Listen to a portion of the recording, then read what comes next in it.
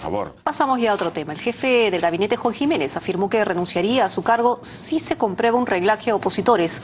Tal como denunció Fernando Rospigliosi en entrevista exclusiva con Canal N, dijo no estar contento con el informe sobre los agentes que rondaban la oficina del periodista Miraflores y anunció ajustes en el sistema de inteligencia. Quiere informe. En el caso de que se, eh, la investigación de luces de que sí hay un reglaje a opositores políticos, ¿usted pondría su cargo a disposición? Yo renunciaría inmediatamente. Así de enfático se mostró el jefe del gabinete Juan Jiménez si es que se encuentran las investigaciones reglajes a opositores del gobierno.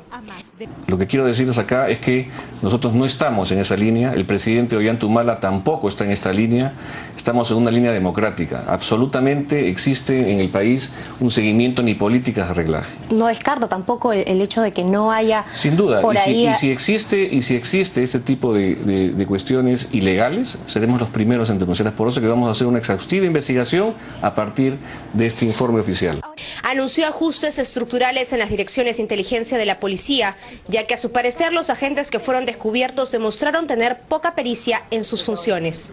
Este gobierno sí le está dando importancia al tema de inteligencia, al tema de reforzar eh, los servicios de inteligencia en el ¿Se va a seguir reforzando la DINI? ¿Se va a incrementar el presupuesto? el presupuesto en este momento ya se ha incrementado.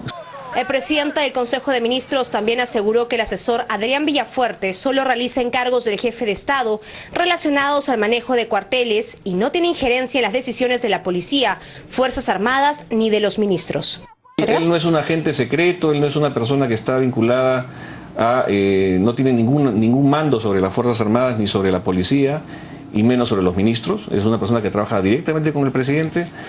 Ante la denuncia por parte de la bancada fujimorista de que existiría un blindaje en el Congreso para no investigar a Alejandro Toledo, Jiménez consideró que esta bancada no tiene moral para hablar sobre la lucha anticorrupción.